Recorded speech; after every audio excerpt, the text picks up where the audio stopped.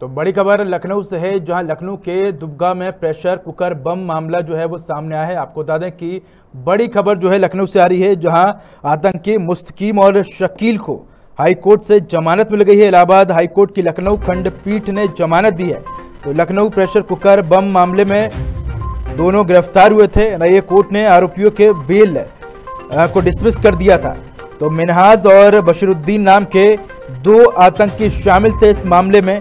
ATS ने 11 जुलाई 2021 को operation में दोनों को पकड़ा था। तो बड़ी खबर आपको लखनऊ से बता रहे हैं, जहाँ लखनऊ के गा में प्रेशर कुकर मामले में हाईकोर्ट से जमानत मिल गई है। आतंकी मुस्कीम और शकील को हाईकोर्ट से जमानत मिली है। इलाहाबाद हाईकोर्ट की लखनऊ खंडपीठ ने जमानत दी है।